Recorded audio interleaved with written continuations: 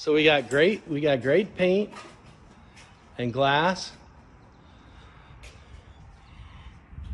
and interior.